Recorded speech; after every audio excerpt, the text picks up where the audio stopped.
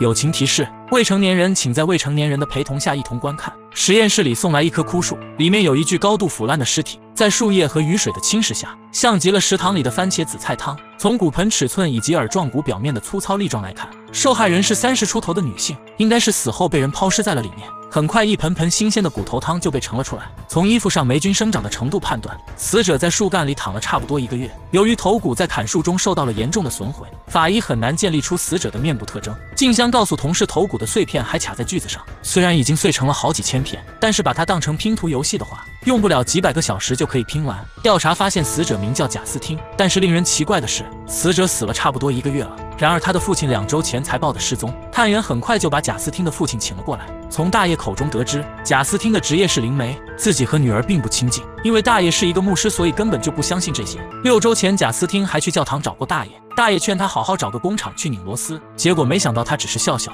压根就不搭理大爷。老六和静香来到贾斯汀的住处进行调查，静香发现他的电脑屏幕碎成了渣渣灰，上面还有一些血迹。老六也在房间里找到了好多现金。如果这里是第一案发现场的话，凶手肯定不是为了钱。这时，死者的一个朋友走了进来，他告诉老六，有个男灵媒的嫌疑很大，因为男灵媒不久前刚刚威胁过贾斯汀。很快，男灵媒就被带到了警局。原来他和死者之前合作过，没想到贾斯汀偷走了自己大量的客户，所以自己才会和他友好的大吵了一架。那么，凶手到底是谁呢？经过检测发现，电脑屏幕上的血迹正是贾斯汀本人的。看来他的确是在家里就遭到了袭击，但房间却没有强行进入的痕迹，所以很有可能是熟人下手。根据死者家里现金上的序号比对，老六很快找到了取钱的黑妹。黑妹表示自己只是他的客户，由于之前贾斯汀帮助过自己，他说需要钱，所以自己就借给了他。案件再次陷入了僵局。老六发现贾斯汀的许多客户都是在他父亲的教堂认识的，所以他去教堂并不是找父亲，而是为了拉客户。经过几百个小时的艰苦奋战，法师终于将破碎的头骨拼好了。他们在脑瓜子上发现了一条很细的裂痕，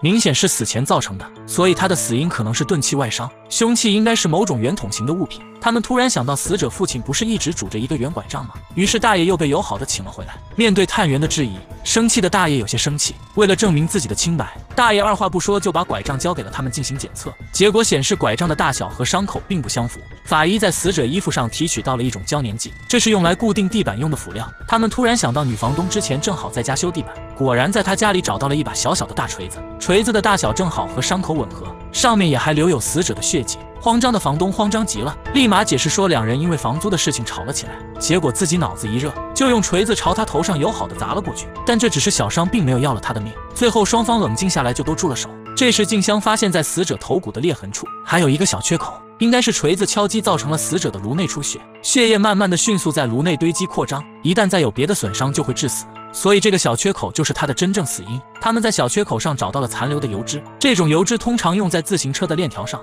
上面还有一层粉红色的防锈漆。老六迅速把黑妹请了过来，因为第一次见面时老六就看见他们家的粉红色自行车，果然经过检测，在自行车的链条上发现了贾斯汀的血迹。黑妹表示这只是一场意外，自己只是轻轻的用力推了他一下，结果他倒地之后就再也没有起来。害怕的黑妹有些害怕，只好把他偷偷的藏在了枯树里。案件到此真相大白。喜欢的点赞关注，我们下期再见。